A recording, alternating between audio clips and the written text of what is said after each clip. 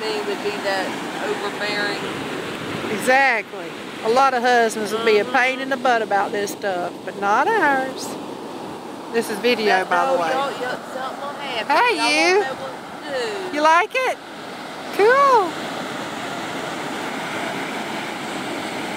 Go play. We'll do that on the way out. Go play.